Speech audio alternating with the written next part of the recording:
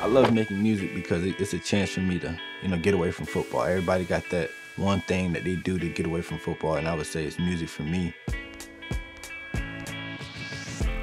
After a long day of football and you know classwork, he'll come home at night and he'll you know be up late, you know, making music. That's kind of what drives him. He came in as a freshman. He brought all his music stuff.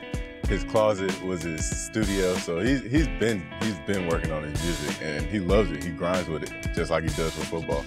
I would say that music is in my blood.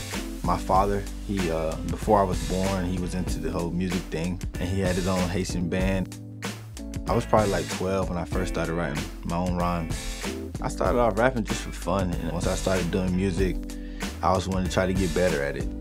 Back in middle school, you know, my first recording, but I remember it was at my friend's studio, and it, it was nervous getting behind the, the microphone because you hearing your voice, everybody in the background watching you, and it was just nerve-wracking at first, but then got used to it, and it just became something fun. As he grew up, Sony Michel's recording skills developed alongside his athletic talents. Before this season, he released an album entitled The Humble Hustle. It's uh, very positive.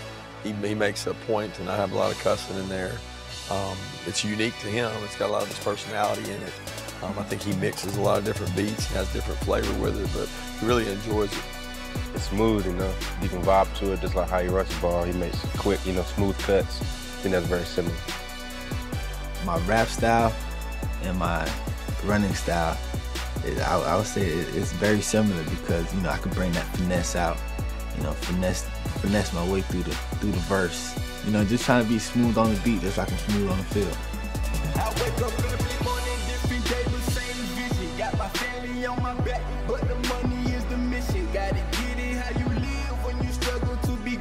trying to tell them how it is, but they struggle to relate. Michel's Twitter handle and rap name, Fly Guy 2 Stacks, is a perfect meld of his football and musical lives. Fly Guy is a nickname given to him by his high school coach, and Two Stacks refers to the 2,000 yards he hoped to gain each year on the field. The feeling of being in the booth is amazing because I already know what I'm about to spit on the mic is written down, and um, I'm just waiting to see everybody's expression after it's recorded. Every day we